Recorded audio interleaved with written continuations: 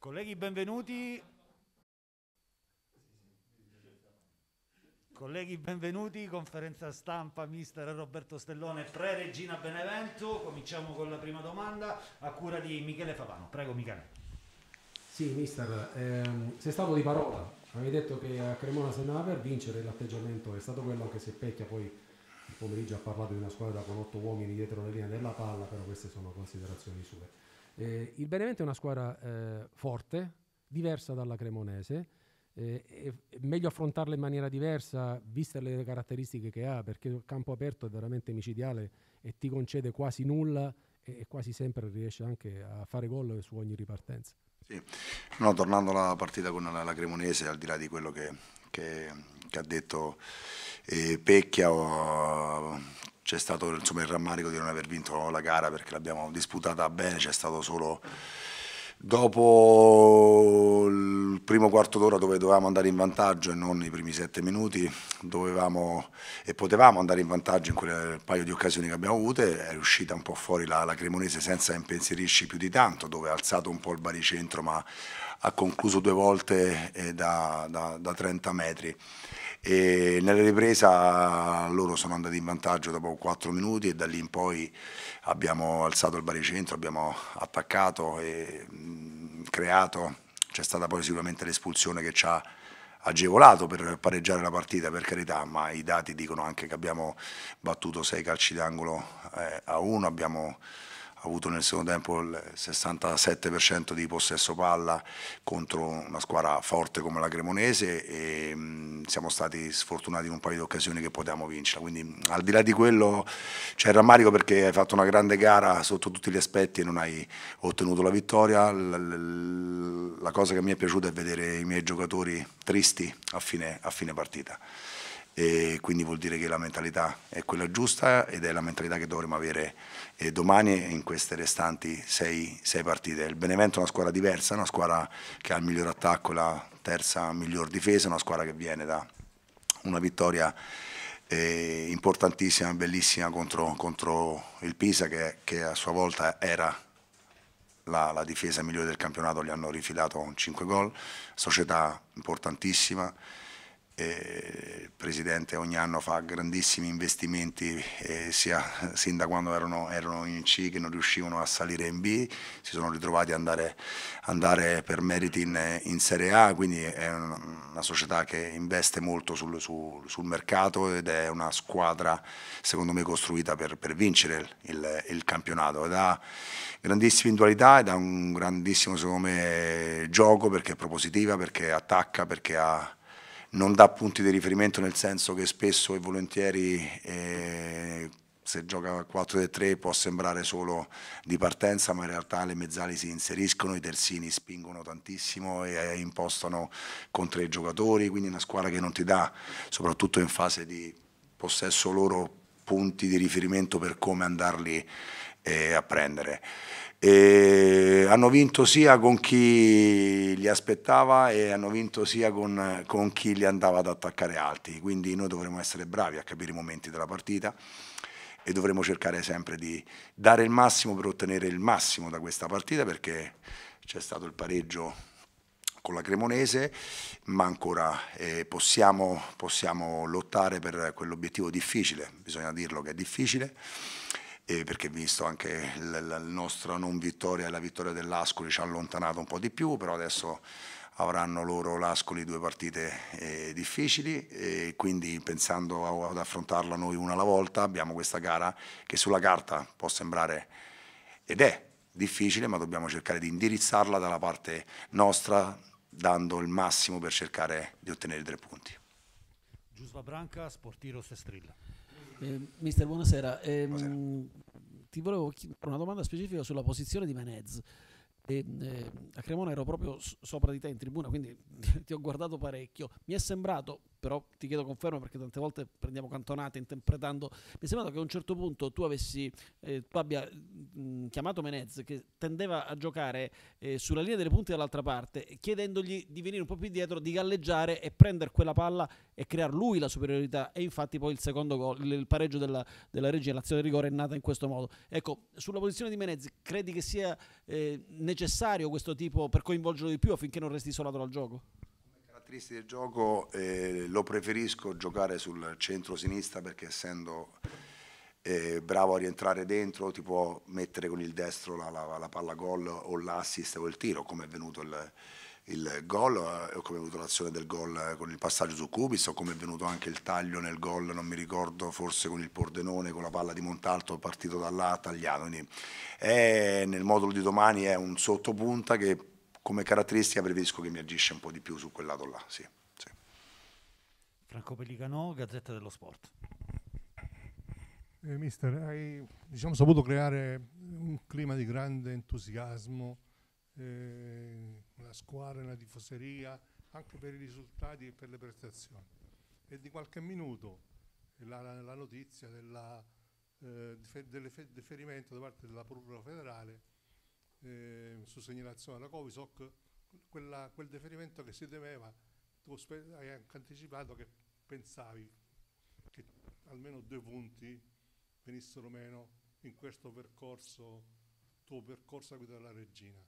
Ecco, se tutto ciò eh, si avverasse, ritieni che ancora il fatto di potere o volere vincere sei partite ti può dare l'accesso, la cognata di accesso ai playoff oppure questa decisione di oggi della Procura federale può far venire meno per tanti aspetti il clima di entusiasmo e di voglia che c'è per tagliare questo obiettivo? Allora, noi il, il momento di entusiasmo eh, ci deve continuare perché dobbiamo pensare a quello che era un mese e mezzo fa, due mesi fa. Quindi eh, l'obiettivo poi è cambiato perché abbiamo ottenuto la, la, la salvezza e quindi l'obiettivo eh, ci è cambiato. E, noi comunque sempre dobbiamo fare eh, 5 o 6, vittorie e sperare che le altre, quelle che ci stanno sopra, facciano qualche, qualche passo falso. Non è facile perché sono in, in, in sei partite parliamo di, di 16 punti, dove se questa distanza tra noi e il Frosinone, tra noi e, e l'Ascoli e con questi 16 punti di più, di più rischi di non fare, al massimo ne, ne, puoi fare 18, potrebbe essere anche che non, che non bastano. Comunque non avremo mai il rimorso e il rammarico di non averci provato, come abbiamo fatto con la Cremonese, noi le restanti partite le giocheremo eh, con la voglia di vincere, con l'entusiasmo che abbiamo, perché comunque eh, se non dovesse essere, non deve essere poi un, un obiettivo fallito, un obiettivo non raggiunto, perché e quando sono arrivato io, se non sbaglio, stavamo a, a due punti sopra dal quintultimo posto, se non sbaglio. E in quel momento là si vedeva ancora peggio la, la classifica perché si veniva da, da 10 partite un punto dove tutto ti diventa più difficile, dove guardi il calendario e dici dove vado a fare queste 6-7 vittorie che che mi servono per salvarmi, no? perché in quel momento erano sfiduciati i tifosi, era sfiduciato l'ambiente, era, voi eravate sfiduciati e i giocatori erano sfiduciati, ma poi con una vittoria quella nel derby col Crotone abbiamo visto che poi la squadra non era così male e non è che sono migliorati con me tecnicamente, oggi vediamo a Cremona, a Parma, in diverse partite giocate di qualità di giocatori e solamente perché si sono sbloccati a livello mentale, le vittorie ti danno fiducia in te stesso, come le sconfitte te la fanno perdere no? la, la, fiducia. Quindi noi ci proveremo, tornando alla tua domanda, proveremo con tutte le nostre forze a, a fare più punti possibili, poi se non riusciremo nell'obiettivo dei playoff pazienza e cercheremo di resettare e ripensarci poi eh, l'anno, l'anno prossimo. Vincenzo Ielacqua, Gazzetta del Sud. Buonasera. Sempre. Buonasera, Sempre, mister. Ma quello appena si, si, fa si dice, non è, che, non è che ci stanno i segreti.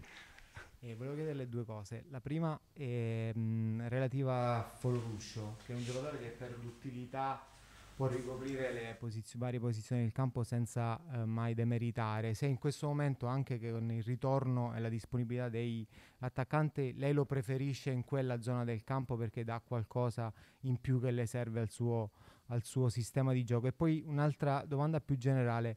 Nel percorso di avvicinamento di questa squadra alla sua idea di calcio, al suo modo di intendere, c'è qualcosa che in queste sei gare si aspetta dalla squadra, un miglioramento magari nella fase realizzativa che ancora è un po' eh, balbettante? Grazie. Allora, eh, Michael è un giocatore duttile, un giocatore di grandissima qualità, di grandissima forza fisica, in certi momenti è straripante, quando parte da dietro eh, ha una velocità una potenza che salta facilmente l'uomo. Abbiamo visto in queste partite che è anche bravo quando gioca di spalle alla porta perché fa salire la squadra, si inserisce e, mm, e quindi è un giocatore duttile che può ricoprire più, più ruoli, logicamente con, con Menez, se dovesse giocare Menez, eh, gioca invece, e, mm, e comunque può tornare nel ruolo di mezzala che lo interpreta e, e l'ha fatto benissimo. E il discorso lì sul miglioramento per la fase realizzativa, eh, noi nelle ultime dieci partite siamo la miglior difesa del, del campionato, quindi a me in quel momento interessava sistemare eh, soprattutto la, la, la, fase difensiva che non vuol dire sistemare i difensori, la fase difensiva la, la, fanno e si fa in 11 da squadra dove molte volte agli attaccanti gli si richiede un grande sacrificio per aiutare centrocampo, aiutare difesa, quindi a volte può essere che si arriva un po' stanchi nella, nella fase offensiva realizzativa perché viene speso molto anche da parte degli attaccanti, basta vedere che Rivas e Folorunso nelle due partite precedenti, anzi tre, perché parliamo anche di Cittadella e Cosenza, sono i due giocatori che hanno fatto più chilometri di tutti all'interno de della gara. Invece di solito come, come dati gli, i due attaccanti insieme ai due difensori centrali o tre sono quelli che corrono un po' di meno perché è così tutte le squadre e di solito corrono di più gli esterni, i terzini, i quinti, eh, i centrocampisti e poi ci stanno ultimi i difensori centrali e gli attaccanti quando io ho due attaccanti che mi corrono più di tutti quanti è normale che poi perdi in qualche cosa in fase realizzativa, ma a me quello che conta poi alla fine sono i punti che vengono fatti, poi se segnano 10 gol gli attaccanti in più sono contento per loro, ma a me, a me cambia poco, insomma. Quindi eh, ma al di là di questo c'è sempre da migliorare in tutte, in tutte le fasi perché eh, si gioca ogni volta una partita diversa contro una squadra diversa, contro uno, un modulo diverso e più si lavora insieme, più si sbaglia, più si cresce quando si guardano e si migliorano poi gli errori. Insomma, quindi eh, devo dire che in due mesi non mi aspettavo, sinceramente al di là dei risultati, non mi aspettavo eh, una squadra così già ben organizzata sotto tanti aspetti. Quando mi rivedo la partita che abbiamo giocato faccio fatica per quelli che sono i miei concetti a trovare qualche errore di, di, di, concetto, non parlo di un lancio sbagliato, di un cross sbagliato, di un tiro fatto male, parlo di movimenti organizzativi tattici per quanto riguarda la fase di possesso e non possesso, quindi e di solito questo lo raggiungi dopo un anno che lavori insieme e fai 250 allenamenti. E quindi il merito va, come ho detto sempre, ai ragazzi che sin dal primo giorno hanno messo un impegno, una voglia, una, una determinazione e una concentrazione perché sono situazioni di, di dove devi essere concentrato per migliorarsi, per cercare di fare il massimo per, per, per quelle che erano le idee dell'allenatore. Quindi sono stati bravi tutti e come ho detto, non so se qui o, o, o in altre situazioni, tutti eh, hanno reso per quello che io li conoscevo, no? perché quando conto quando alleni un giocatore e ce l'hai tutti i giorni, e, e, e, vedi la partita dal vivo, ti fai un'idea, un conto e quando li vedi da un video e ti fai altre idee. Devo dire che tutti veramente eh, come, come, qualità, come ragazzi eh, mi hanno stupito in, in, in, positivo, cioè tutti me li aspettavo, me li aspettavo meno, meno, bravi, invece sono più bravi di quello che pensavo, quindi il merito è stato sicuramente, sicuramente loro. Franco Pellicano. Mister Benevento che fa 52 reti se non già segnato fino adesso, mi sbaglio. Eh, sì, sì, è, una partita in meno. soprattutto non ha tanti giocatori in doppia cifra, mi pare soltanto uno, no? quindi questo significa che sono diversi i giocatori che vanno in gol, non Sì, sì. solo No, no, gli attaccanti, Il ma loro sistema di gioco, a sì. questo punto eh, alla tua squadra, non, alla tua squadra non, non chiedi, non chiederai una particolare attenzione so- so- sulle palle inattive, visto che loro dall'altro ricoprono abbastanza bene, lo hanno dimostrato Ma sì.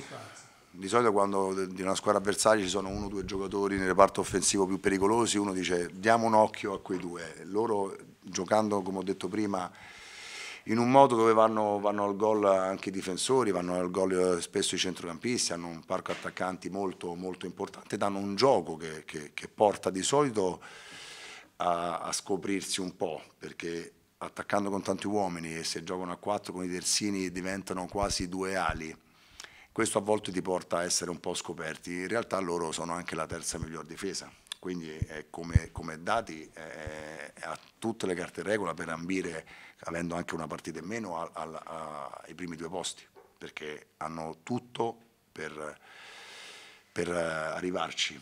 E quindi dobbiamo stare attenti in tutte le situazioni, con tutti gli uomini, in tutte queste rotazioni di uomini che fanno sulle panne attive. Una partita deve essere, al di là di, di chi incontri, al di là se è il miglior attacco o la miglior difesa, devi affrontarla eh, con giusta, col giusto equilibrio, con la giusta concentrazione, con la giusta convinzione quando hanno palla loro. Quando abbiamo palla noi, abbiamo anche noi delle nostre carte che ci possiamo giocare per metterli in difficoltà. Michele Favano.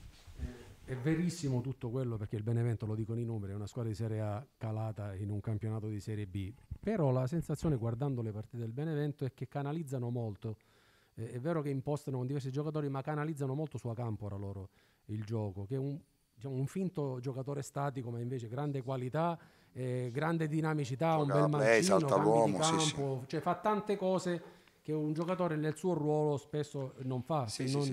no, impostare. no. Quindi si può pensare anche che chiudendo anche quella fonte di gioco si può ottenere qualcosa in più. la verità è che da una parte se gioca Campora c'è Campora come mezzala, dall'altra parte c'è Onita che anche lui ha qualità di inserimento, di gol e quindi chi gioca gioca secondo me il Benevento ha una rosa talmente forte, faccio un pensiero agli attaccanti, se non c'è Forte c'è Moncini, c'è la Padula e gli esterni, se non c'è, sì sì no la Padula lo so che non c'è, però come come parco attaccanti hanno, hanno Insigne, hanno Improda, hanno Farias, eh, non so se dimentico qualcuno, quindi è una squadra importante in tutti, in tutti i, i ruoli del campo, in mezzo al campo hanno l'imbarazzo della, della scelta, quindi è una partita difficile, lo sappiamo come ho detto prima, ma noi ce la metteremo tutta insomma, per eh, tornare alla vittoria perché nell'ultimo periodo sì abbiamo fatto buone prestazioni, però non, non abbiamo vinto molto e questo mi toglie un po' il, il- il sonno, anche se le belle prestazioni fanno,